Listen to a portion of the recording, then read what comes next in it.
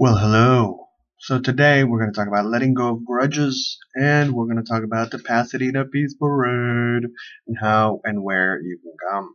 So the Pasadena Peace Parade, if you are interested in coming to the Pasadena Peace Parade, there is a link right at the bottom, an invitation, and you can say yay or maybe next time.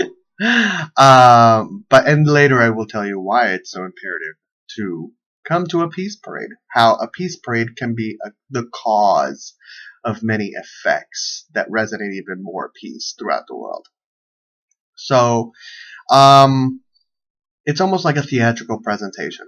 When you go see a movie, you are inspired. And when you come out of the movie, you are inspired to create and resonate even more.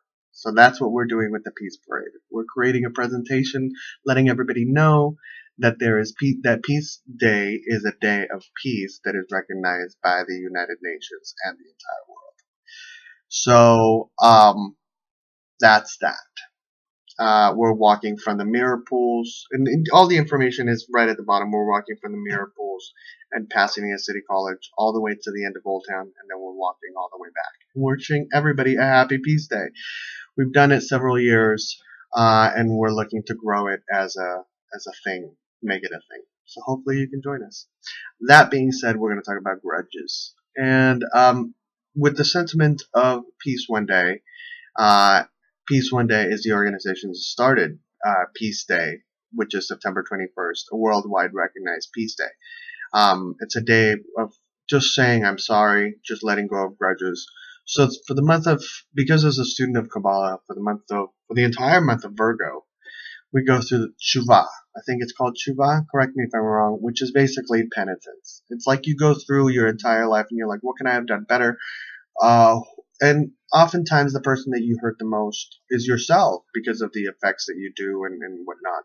So it's a it's a time of growth. It's a time of assessing and reassessing and taking account and making sure and dotting your you know and also right now the moon is in Scorpio so it's it the, the month of Virgo started with the moon in Scorpio, so there was a lot of emotional energy. Plus, we're going into Mercury into retrograde, so a lot of communication. There's a lot of weight breakdown in communication. So it's about being closer and, and being more more.